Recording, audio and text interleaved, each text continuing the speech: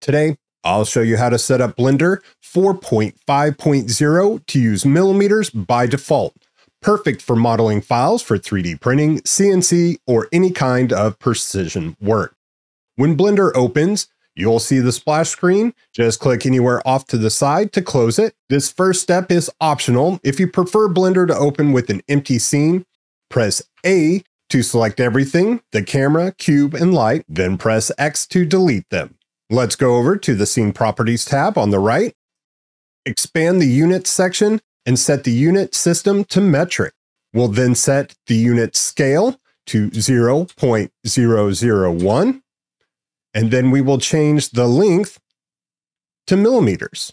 Next, in the 3D viewport header, at the top right, click the down arrow to open the overlay menu. In the scale field, change the value to 0.001 so your grid reflects the unit change. We'll just press tab and we can see the grid changed.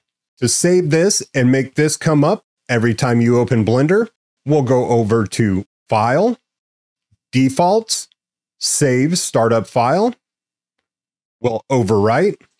Now, every new project will open in millimeters, clean, accurate, and ready for modeling for 3D printing, CNC, or any kind of precision work.